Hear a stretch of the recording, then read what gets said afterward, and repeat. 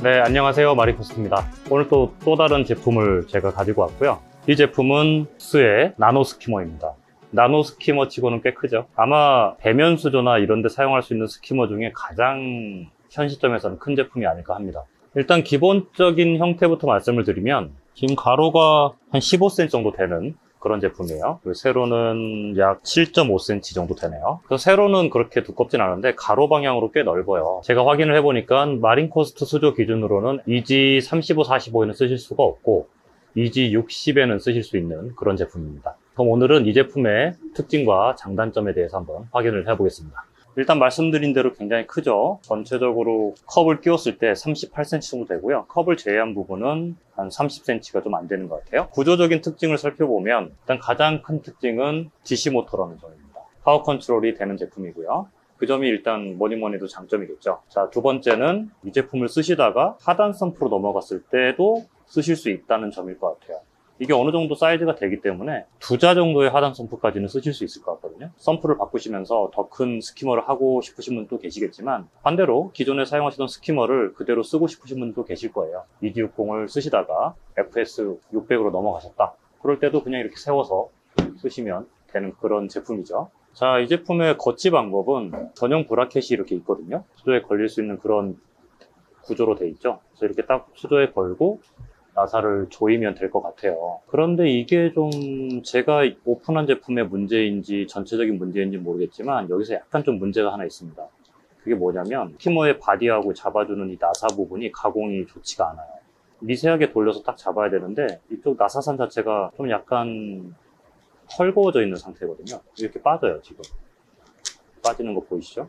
이러다 보니까 이게 미세하게 잡아주지를 못하고 있는 상태예요. 지금 양쪽에 두 개가 있는데 한쪽은 좀 덜하고 한쪽은 좀 심한 상태입니다. 이렇게 체결을 해보면 이 부분을 말씀을 드리는 거예요. 이렇게 돌려서 끼워줘야 되는데 이 부분이 잘 안 돼요. 이렇게 빠져버립니다. 아, 이거를 뭐라고 해야 될까요? 이게 조금 문제인데 근데 사실 이 스키머는 좀 걸어서 쓰기보다는 그냥 이렇게 세워놓고 쓰는 게 맞을 것 같긴 해요. 그래서 사용하는 데는 큰 문제는 없을 것 같아 보이지만 일단 이 문제가 가능할 것 같습니다. 이게 좀 약점이고 단점을 얘기했으니까 장점을 하나 얘기해야 되겠죠? 장점이라고 할 수 있는 건 이 출수 밸브 조절 기능이 나노 skimmer 치고 상당히 좀 구조가 잡혀 있는 것 같아요. 영상에 보이실지 모르겠지만 여기 플러스 마이너스 가공이 있거든요. 그래서 플러스 방향대로 돌리면 이 부분입니다. 자, 지금 플러스 방향대로 돌리고 있거든요. 이게 내려가고 있죠. 이게 내려간다는 얘기는 물이 나오는 구멍을 막으니까 이 스키머의 내부 수위는 더 올라갈 거예요. 반대로 마이너스로 하면은 지금 올라가는 게 보이시나요? 올라가기 때문에 이 안쪽에 물구멍이 더 넓어지게 됩니다. 그래서 결국에는 들어온 물의 양이 동일하다는 가정하에 이 나가는 구멍이 커지고 작아지는 거에 따라서 이 스키머 내부에 물의 높이는 달라지게 됩니다. 일단 전체적으로 컨셉은 좋아요. skimmer에 펌프 연결되고 제가 이 노즐을 가지고 좀 고민을 해봤는데 이 컬렉션 컵에 이렇게 끼워주면 될 것 같아요. 그러면 공기는 이쪽에 의해서 빨아들여질 거고요. 다시 skimmer 펌프로 들어가겠죠. 만약에 이게 폭주하면 어떻게 될까요?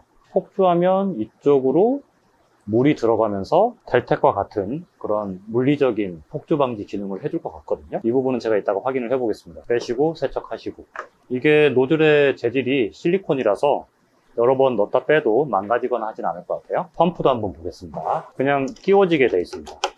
이렇게 살살 돌려서 빼시면 빠지거든요. 자, 벤츄리도 이렇게 빠지고요. 펌프는 이렇게 느낌은 거의 제바오 펌프하고 거의 비슷해 보여요. needle wheel 샤프트 여기 있고요. 끼워주고 오링 다시 끼워주고 다시 이렇게 커버링 해주면 되는 상태고요. 전체적으로 마감이 이렇게 정밀한 느낌은 아닙니다. 그래서 다 중요한 기능들은 하고 있지만 정밀하게 가공되어 있다는 느낌까지는 아니고요. 약간 보면 약간 좀 걸리적거리는 부분들이 있어요. 예를 들어 이런 부분도 지금 여기 보면 호스가 좀 씹히고 있죠 이거를 좀 더 방향을 다르게 했었어야 되는데 이걸 바깥쪽으로만 돌려놨어도 이게 호스가 이렇게 걸리진 않았을 것 같아요 근데 이게 벤츄리가 모터블럭에 캡에 이렇게 걸리는 찝히는 형태라서 이런 부분들은 좀 신경이 쓰이시는 분들도 있을 것 같습니다. 물론 기능적으로는 별 문제는 없어요. 어차피 공기만 흘러 들어가면 되니까. 하지만 가공 측면에서 봤을 때 약간 좀 정밀하지 못하다라고 말씀드릴 수가 있겠네요. 자, 보통 이렇게 다시 끼우시면 됩니다. 간단하죠. 그리고 이 안쪽에 이렇게 호스를 거치할 수 있는 홈들이 있기 때문에 세워두시는데 문제는 없습니다. 저는 세워서 쓰시는 거를 추천을 드리고 싶어요. 자, 그럼 이 상태에서 저희가 물에 실제 넣어보면서 성능을 한번 확인을 해보겠습니다. 자, 이제 죽스의 나노 스키머를 저희가 소금물에 넣었습니다. 18cm 정도 되는 상태고요. 이 상태에서 한번 시작을 해볼게요. 전원을 켜면 자, 불안 얘기는 최대 파워인 9단계로 설정되어 있다는 얘기입니다.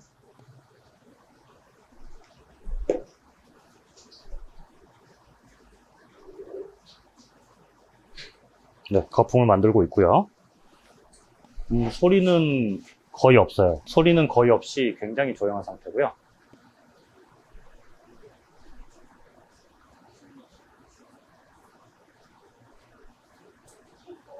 지금 최대 강도로 했을 때 수심 18cm 정도에서 딱 적당해 보이네요. 아까 보여드렸던 출수량 조절 기능이 있기 때문에 여기에서 이걸 돌리면 거품은 더 올라갈 수 있어요. 네, 위로 조금씩 올라가고 있죠. 이 스키머는 이렇게 이 안에 보면은 삼각형으로 되어 있는 버블라이저가 있는데 그쪽으로 거품이 대기하고 있는 게 맞을 것 같아요. 네, 이 정도로 세팅하시면 될 것 같습니다. 여기서 조절도 추가로 가능하니까 한 7단계 정도로 낮춰볼게요. 그러면 거품의 양도 줄고 높이도 좀 더 내려왔죠? 그러니까 두 가지가 다 가능한 거예요. 파워 조절을 하거나 아니면 출수량을 조절을 하거나 이 상태에서 출수량을 더 줄여도 더 올라갈 겁니다. 출수량을 한번 최대로 줄인 건데 그럴래? 이건 이제 너무 세니까 이거 자체가 밀려버리네. 어... 아, 이렇게 되네요. 지금 제가 완전히 막아버리니까 밀려버리고 있어요. 어이구. 음... 이제 거의 한 70%, 80% 정도 막은 상태예요. 여기까지는 괜찮은데 이걸 완전히 막아버리면 아까 보셨죠? 이게 컵 자체가 밀려 올라가 버리네요. 구조적으로 좀 그럴 수 있을 것 같아요. 극단적으로 막아버리시면 좀 문제가 생길 것 같습니다. 여기서 한번 파워를 더 올려서 폭주를 한번 하게 해볼까요? 최대 9단계로 올렸습니다. 여기에다 물을 좀 더 부어서 좀 폭주를 한번 해볼게요.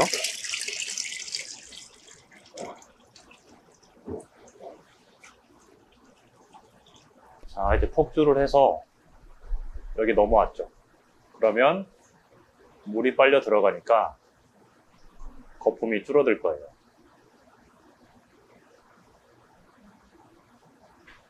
자, 델텍하고 똑같죠?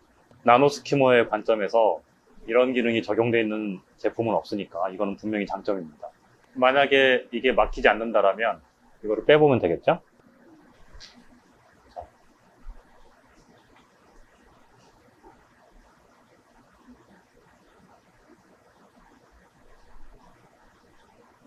스키머가 폭주하게 되면 이런 모습이 될 거예요. 이 노즐 자체가 물이 빠져서 다시 안으로 들어갈 거라서 만약에 이 노즐을 여기다 끼워 놓지 않아도 물은 그냥 밑으로 빠지겠죠? 그러니까 이렇게 거품은 만들지만 심하게 튀지는 않을 것 같아요. 근데 여기서 만약에 이 노즐을 끼워 놓으면 아까처럼 거품 자체를 만들지 않을 겁니다. 자, 노즐 쪽으로 물이 들어가 버리기 때문에 거품 생성이 중단이 되겠죠? 자, 지금 제가 그냥 이 상태에서도 파워를 5단으로 조절을 하고 출수량을 조절해서 다시 넘치지 않게 만들었어요. 이 스키머는 굉장히 가용 범위가 넓은 거죠.